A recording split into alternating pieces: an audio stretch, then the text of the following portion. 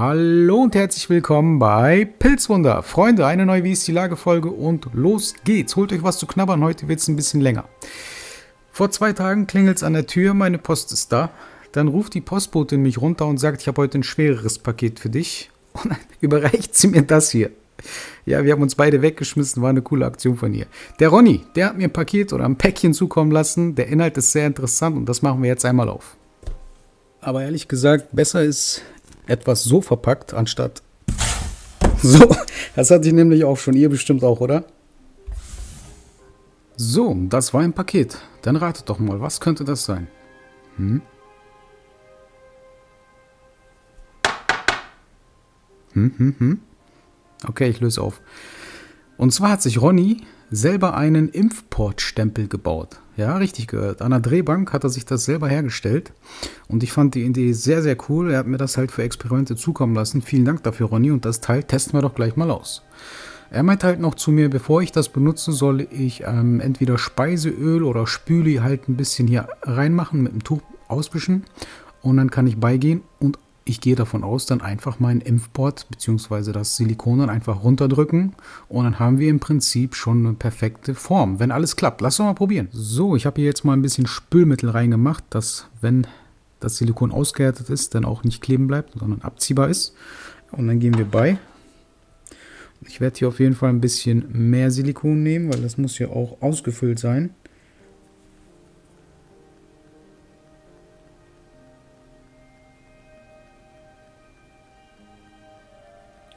Ja, ich denke, das sollte reichen. Oder? Ja, vielleicht noch ein bisschen. So. Schauen wir mal.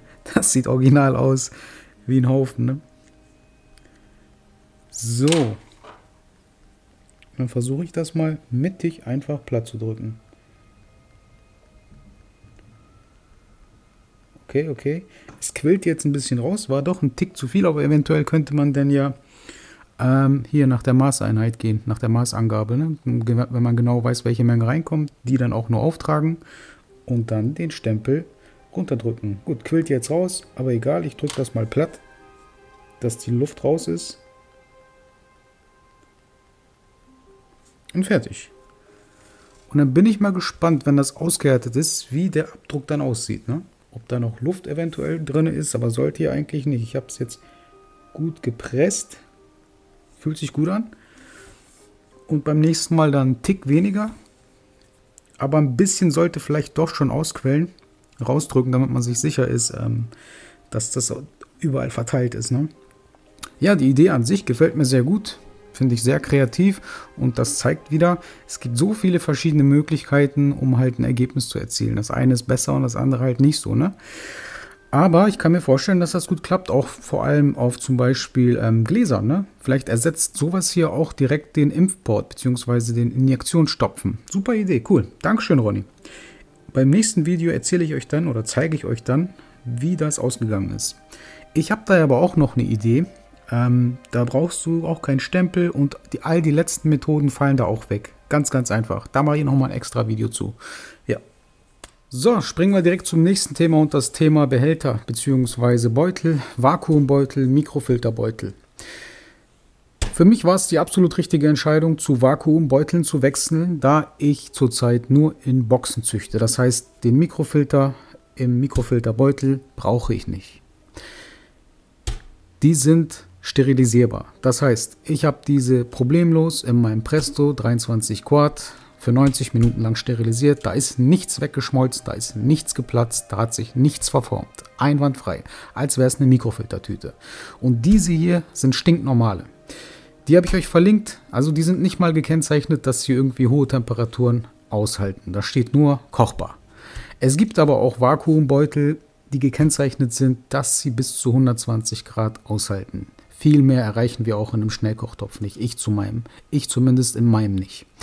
Ähm, die, die gekennzeichnet sind für 120 Grad, die kommen aus dem gewerblichen Bereich, sprich, die sind eigentlich für Vakuumkammern gedacht. Aber selbst diese hier funktioniert einwandfrei. Testet selber aus. Ich habe sie euch, wie gesagt, verlinkt. Wie gesagt, ich brauche den Filter nicht. Ich bekomme hiervon anstatt, anstatt zwei von den Mikrofiltertüten bekomme ich vier zwei, mit zweieinhalb Kilo ähm, Gramm gefülltem Substrat bekomme ich in meinen Schnellkochtopf. Hier von zwei, hier von vier. So, dann ist es so, dass wenn ich mal mehr herstelle und das dann lagere, nicht die Gefahr besteht, dass mein Substrat an der Oberfläche austrocknen kann wegen dem Filter. Habe ich hier nicht. Schweiße ich zu, ist luftdicht, hält, ist sterilisiert, kann ich wahrscheinlich Jahre lagern. Ne? Ich habe es nicht getestet, aber ich gehe davon aus. Was soll dagegen sprechen? Es ist sterilisiert und es ist luftdicht. So, ja, wie ihr seht, fast, also für mich zumindest nur Vorteile. Preislich gesehen kommt auch, bist du auch günstiger dabei. Das heißt, ich zahle für diese hier so ziemlich genau die Hälfte als für diese. Aktuell habe ich für die bezahlt 100 Stück, ich glaube um die 34 Euro. Ne? Je nach Händler bekommt ihr die auch so um die 60 Cent pro Stück. Ne? Wenn man mehr kauft, wahrscheinlich günstiger und so weiter. Ja, beim Großen und Ganzen, wie gesagt, ist das absolut mein Ding, weil ich in Boxen züchte. Und ich bleibe auch bei den Boxen. Also ich habe mich in diese Methode komplett verliebt. Dieses, das halbsterile Züchten ist genau mein Ding. Ich kann da ich bin da frei im Experimentieren, was Luftlöcher angeht, Aktivierung angeht, Fruchtungsphase, Fruchtungseinleitung und so weiter. Ne? Also, wenn ihr Bock drauf habt, probiert es aus. Diese habe ich euch, wie gesagt, verlinkt. Eins möchte ich dem noch hinzufügen, wenn ihr eure Substrate in Vakuumbeuteln sterilisieren möchtet, ist es wichtig, dass ihr nicht vorher verschweißt. Ansonsten platzt euch der Beutel weg. Auf jeden Fall erst sterilisieren und nach der Sterilisation verschweißen. Ähm, das kann man mit dem Mikrofilterbeutel machen, da die Luft aus dem Filter austreten kann. Aber auch nur, wenn man genau weiß, wie man mit seinem Schnellkochtopf umzugehen hat. Nicht, dass die Tüte sich aufbläht und euer Ventil verstopft. Das kann dann ganz gefährlich werden. Viele machen es ja aber auch mit Mikrofilterbeuteln so, dass sie erst nach der Sterilisation verschweißen. Was passiert, wenn ich nach der Sterilisation verschweiße? Wie gehe ich vor? Und zwar stellen wir uns vor, Substrat ist jetzt abgefüllt. Dann knicke ich den oberen Teil um und dann kann ich das ganz genau so lassen. Ich kann die Beutel dann, die gefüllten Beutel übereinander stapeln, so dass die Luft trotzdem noch aus der Öffnung austreten kann. Ich habe auch schon andere Sachen getestet, das heißt Micropore Tape einfach ein langes Band gezogen von links nach rechts. An den, an den Rändern habe ich dann einfach 2 cm Luft gelassen, dass dort ähm, die Luft noch austreten kann. Ähm, was noch passiert ist natürlich nach der Sterilisation zerknittert euch natürlich äh, ein bisschen die Struktur von der Folie. Das ist ganz normal, da kann man nichts gegen machen. Das ist aber auch bei Mikrofilterbeuteln so. Ähm, was ich dann da mache, ich schweiß einfach zweimal, ganz einfach. Wie ich genau, wie genau ich das mache, das zeige ich euch gleich nochmal mit dem Vakuumiergerät, mit dem neuen. Aber ganz einfache Geschichte. Zweimal schweißen, fertig. Ja, Kommen wir zu meinem neuen Vakuumiergerät bzw. Folienschweißgerät. Und damit habe ich hier jetzt ein paar Tage rumgespielt, den ganzen Kaffeesatz von Gregor sterilisiert, abgepackt und verschweißt. Und jetzt weiß ich auf jeden Fall auch ein bisschen mehr. War absolut kein Fehlkauf, sondern genau das Richtige, was ich machen konnte, weil ich habe jetzt endlich vernünftige Schweißnähte. Muss da nicht irgendwie zwei, drei Schweißnähte setzen, um sicher zu sein, dass die Tüte auch dicht ist. Eine Kleinigkeit ist sehr, sehr entscheidend. Merkt euch das. Abkühlzeit, Freunde. Abkühlzeit. Also Tüte reingeschmissen. Ne, ist jetzt eine normale kleine Mikrofiltertüte. So, ich mache die mal weiter oben. So, wir rasten ein und verschweißen. Ich habe jetzt trocken, weil es trocken ist. So. Der piept dann gleich irgendwann, wenn er fertig ist mit dem Verschweißen. Aber dann seid nicht so ungeduldig und macht es gleich auf, weil ich kann euch jetzt nicht genau sagen, was da chemisch passiert, aber ihr könnt es euch ungefähr vorstellen. Die Tüte schmilzt ineinander, beide Seiten schmelzen und verbinden sich. Aber wenn man zu früh öffnet, ist die Verbindung noch nicht genug abgekühlt. Und dann ziehen wir den Beutel hier ab und machen diese Verbindung wieder kaputt. Habe ich es gut erklärt? Ich glaube ja. Ich bin der Harald Lesch des Pilzezüchtens. So, auf jeden Fall. Jetzt seht ihr, ich quatsch immer noch mach noch nicht auf. Ich meine, wir haben, wir müssen uns gedulden und teilweise Wochen und Monate auf eine Fruchtung warten. Da können wir doch auch mal äh, 20 Sekunden länger auf eine schöne Schweißnaht warten. Ne? Was bringt uns all die ganze Arbeit, wenn die Schweißnaht nicht dicht ist und wir dann am Ende uns wegen so einer Lappalie eine Kontamination holen? Ne? Einfach ein bisschen länger warten. Macht irgendwas anderes in der Zwischenzeit. Und jetzt guckt euch das Ergebnis an. Jetzt kommt das Ding komplett kaputt daraus. Nein, pass auf. Machen auf. Der klebt da oben schön fest. Machen runter. Und schaut mal. Fokussier. Perfekt. Mehr wollte ich nicht. Diese Schweißnaht ist 1A, Freunde.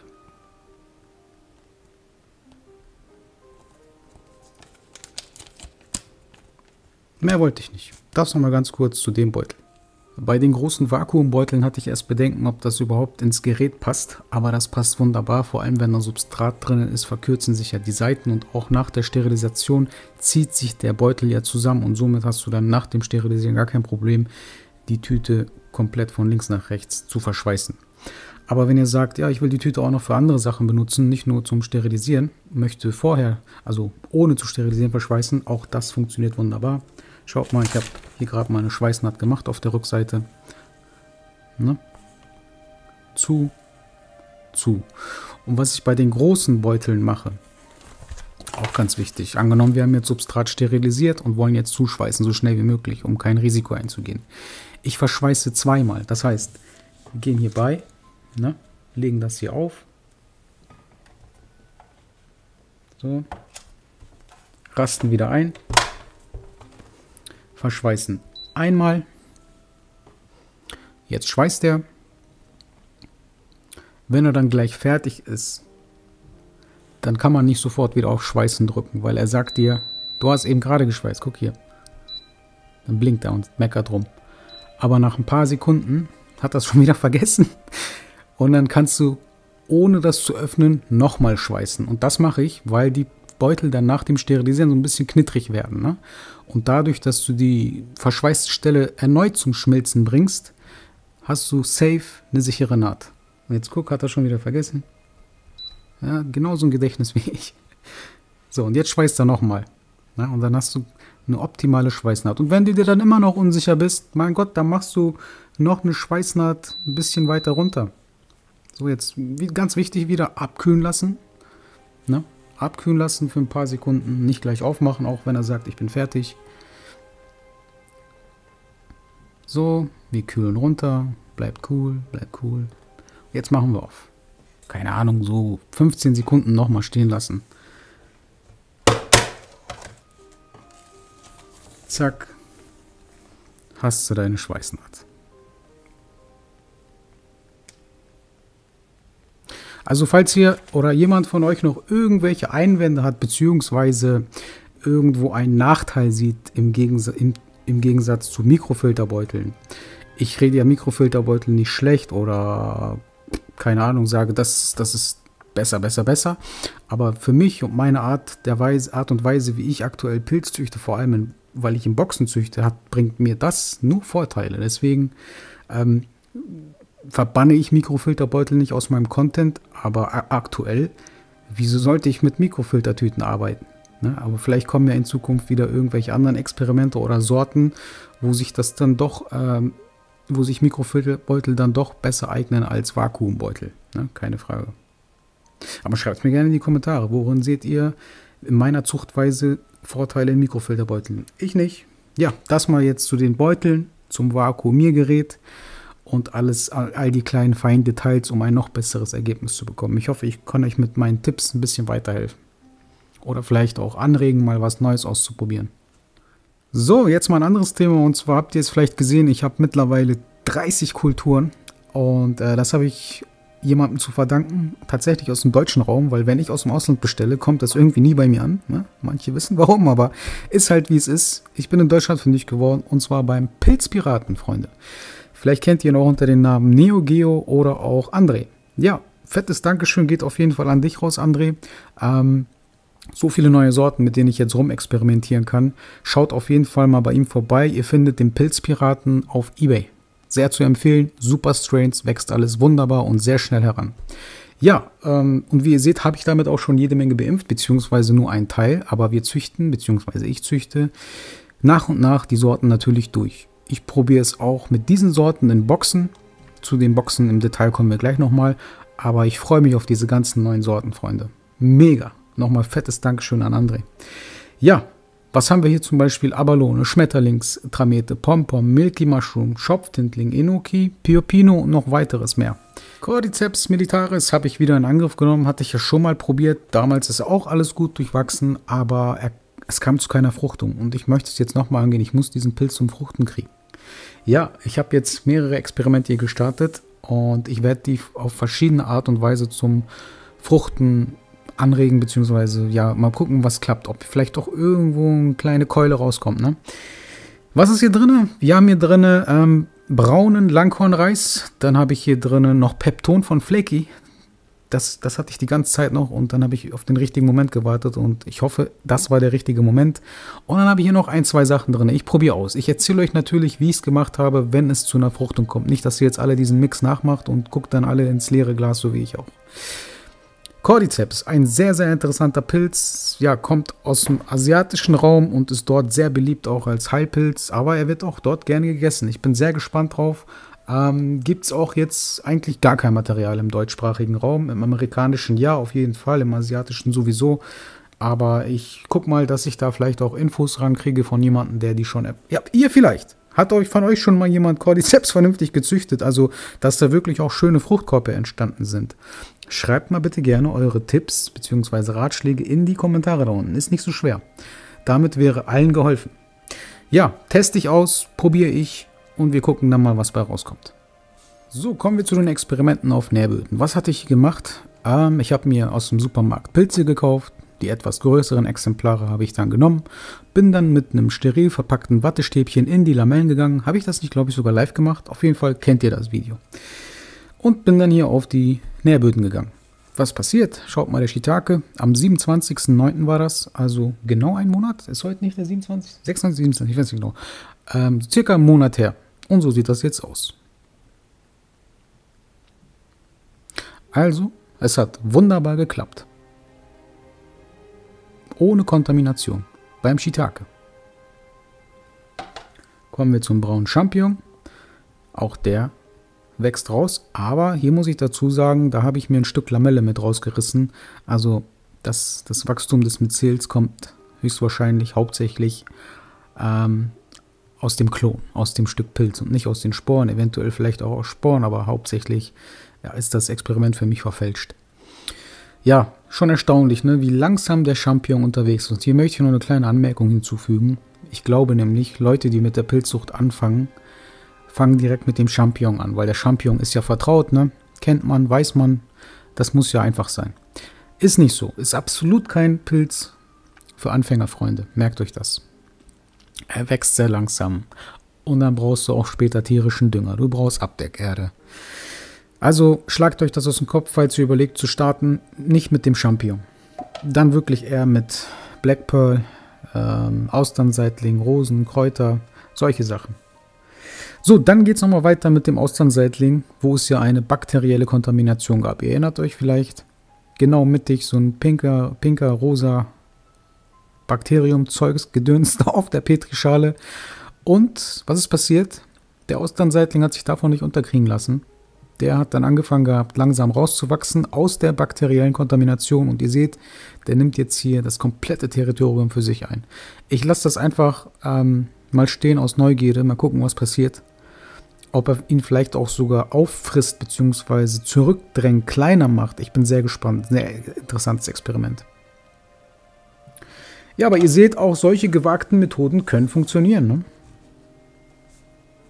Am 1.10. habe ich dann ja auch meine gefundenen Steinpilze versucht zu klonen und schaut mal, beide sind nicht kontaminiert, aber aus dem kleinen Stück sieht man leider kaum was rauswachsen.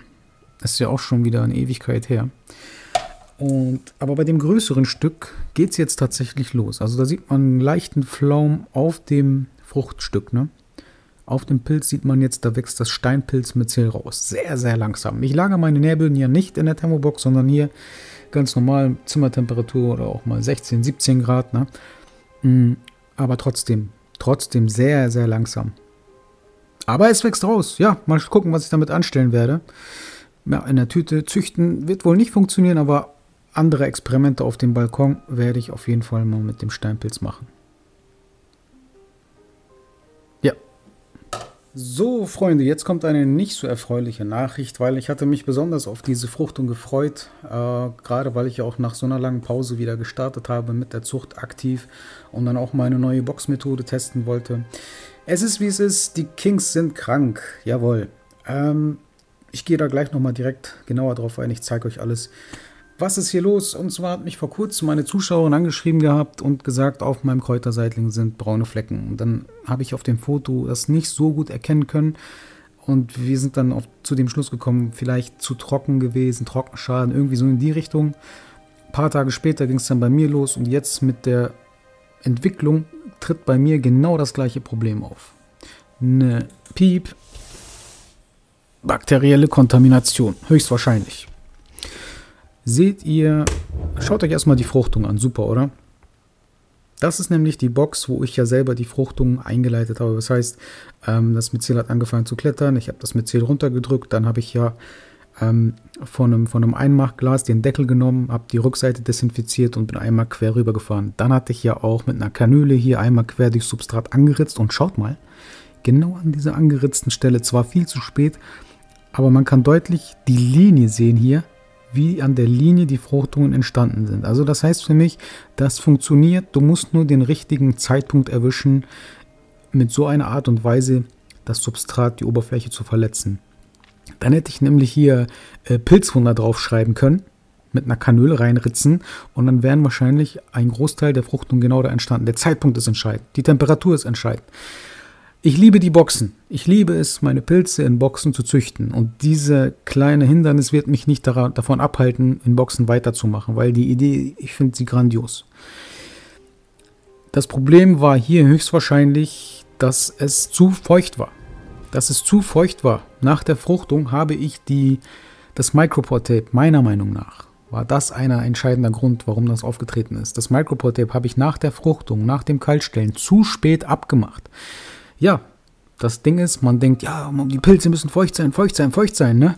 Das Problem ist, zu viel Feuchtigkeit ist dann auch nicht gut, gerade in so einer geschlossenen Box, ne? Und die geschlossenen Mikrofilterbeutel, Mikrofilterbeutel, das Micropore-Tape, wenn das noch drauf ist, reicht, hat die Luft nicht ausgereicht, damit der Pilz ähm, eine optimale Feuchtigkeit hat, beziehungsweise dass keine Gefahr auftritt, dass es zu einer bakteriellen Kontamination kommen kann. Seht ihr diese braunen Flecken? Ja, Im Video kommt das jetzt nicht so gut rüber. Ne? Ich halte euch mal rein hier. Seht ihr da oben zum Beispiel diese braunen Flecken direkt am Fruchtkörper? Das, ja, vielleicht hattet ihr auch schon mal sowas und wisst ganz genau, was es ist. Aber ja, ich gehe tatsächlich von einer bakteriellen Kontamination aus. Ne? Hier über die ganzen Fruchtkörper. Ne? Wunderschöne Kräuterseitlinge und dann kommen diese lästigen Bakterien jetzt auch noch mit ins Spiel. Als ob Trauermücken nicht gereicht hätten als Schädlinge. Kommen jetzt noch hier nach Grünschimmel und hast du nicht gesehen noch Bakterien hinzu. Aber ganz ehrlich, Freunde, jetzt habe ich das auch mal gesehen. So, dann guckt man nach einer Lösung und versucht dann dieses Problem auch zu beheben. Ganz einfache Geschichte. Das ist die erste Box. Was habe ich gemacht? Hm, ich habe das Problem erkannt, habe den, hab, hab den Deckel habe ich jetzt komplett ab, die Box steht in einem Raum, wo das Fenster permanent auf Kipp ist, ein bisschen höher gestellt. Und dann muss ich jetzt gucken, dass ich nicht zu viel befeuchte, aber auch nicht zu wenig, dass mir die Pilze austrocknen. Ne, ich versuche das Problem in den Griff zu kriegen. Ich habe jetzt auch mal hier Wasserstoff. Ich habe mein normales Wasser, womit ich befeuchte, auch in so einem Fläschchen. Und da habe ich jetzt einfach mal ein, zwei Tröpfchen Wasserstoffperoxid mit reingegeben.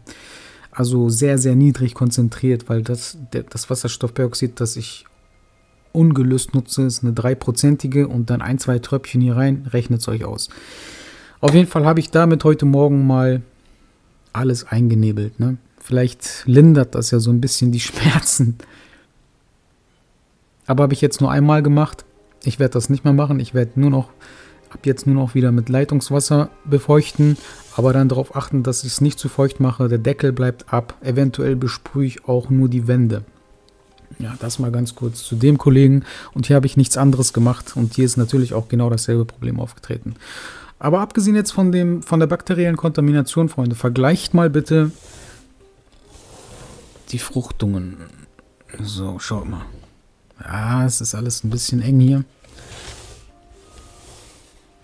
Links habe ich selber aktiviert. Da sind die Fruchtungen sehr zentral. Ihr erinnert euch, ich stülp hier, mache hier gleich das Substrat kaputt. Ich muss euch das einzeln zeigen. Also hier nochmal kurz, wo ich selbst aktiviert habe. Macht einen Screenshot in eurem Kopf. Und hier, wo ich einfach wachsen lassen habe. Erinnert euch, ich hatte ja gesagt, ob die das Gewicht dann tragen und so, aber es, bis jetzt sieht es stabil aus. Also auch die Myzel-Läppchen an der Wand verhärten sich ja mit.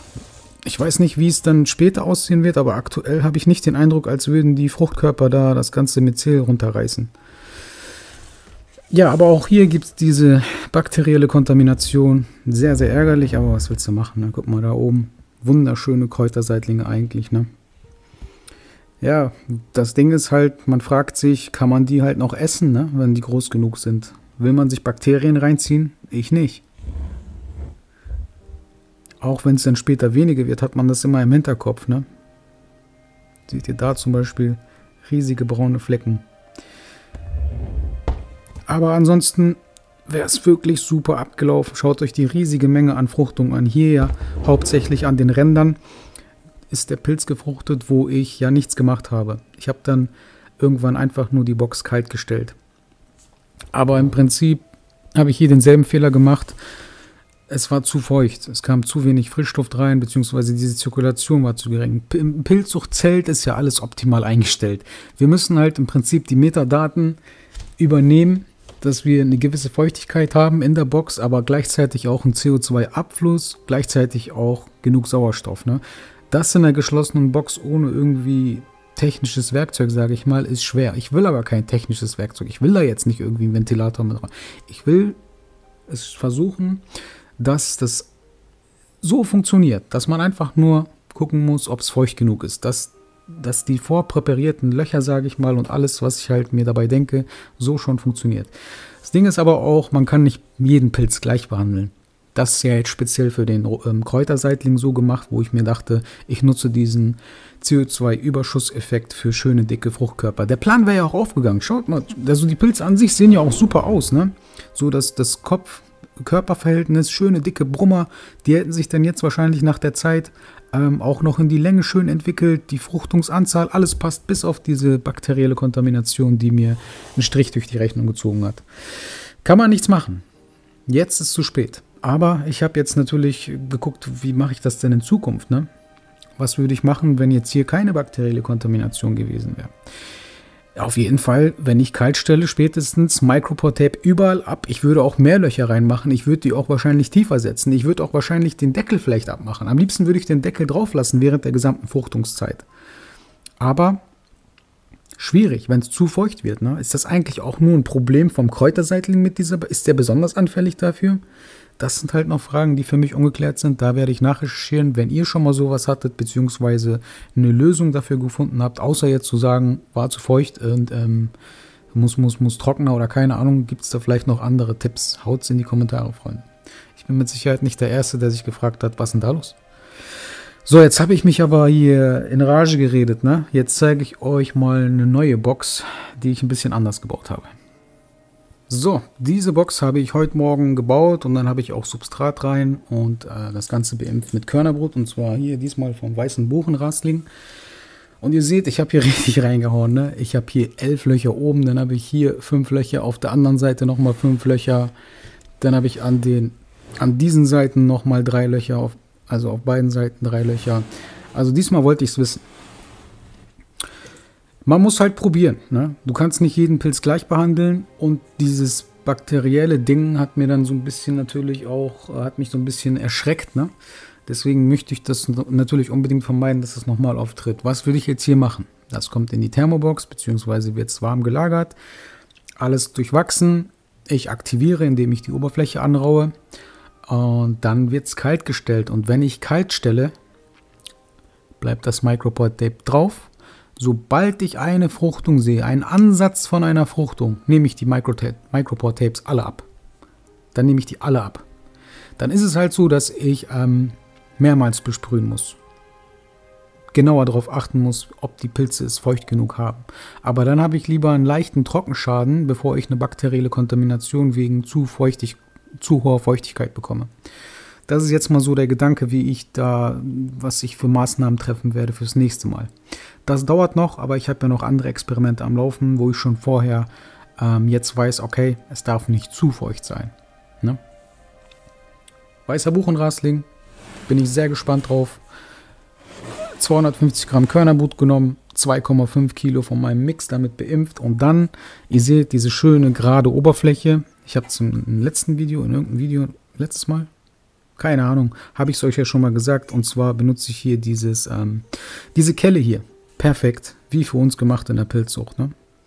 Damit kann ich beigehen und nach dem Befüllen dann die Oberfläche schön gerade machen, nicht zu doll runterpressen, ne, aber schön glatt machen alles. Aus von den Wänden, wo ein bisschen Substrat oben ist, kann ich es runterdrücken. Astreine Sache. Perfekt dafür. Die, die, die Fläche desinfiziere ich vorher mit einem Alkoholtupfer und dann fertig gehe ich bei und drücke schön alles gleichmäßig gerade. Habe ich euch auch verlinkt. Okay. Achso, eine Sache noch. Damit werde ich dann auch hier, das hat so, so einen leichten Grad hier oben. Ne? Damit habe ich ein, ein Substrat heute schon aktiviert. Und zwar äh, ein Experiment aus der Kaffeesatzreihe. Aber Kaffeesatz werde ich wirklich speziell nur in, in, auf dem Format bringen. Da zeige ich euch heute noch nichts. Auf jeden Fall habe ich dann hier einfach mittig das Substrat zentral mittig so angeraut. Und das geht richtig gut hier mit dieser leicht rauen Spitze. Kommen wir zum Riesenbovisten und zwar wächst er auch schon eine ganze Weile und mittlerweile wurde die Oberfläche dann auch ein bisschen trocken und der ist halt noch nicht komplett durchwachsen. Also dachte ich mir, bevor mir die Oberfläche austrocknet, haue ich jetzt schon mal Abdeckerde rauf. Damit kann ich dann schon mal ja vorbeugen, dass mir die Oberfläche zu trocken wird, bevor das durchwachsen ist. Dann kann er schon mal in die Abdeckerde reinwachsen und vielleicht kommt das dann so zeitgleich hin, dass er das Substrat eingenommen hat und auch vielleicht gleichzeitig die Abdeckerde wäre optimal. Was habe ich genommen als Abdeckerde? Ganz normale, ähm, ein Gemisch aus Weißtorf und Schwarztorf, standardmäßig, wie man es auch bei Champignons nutzt.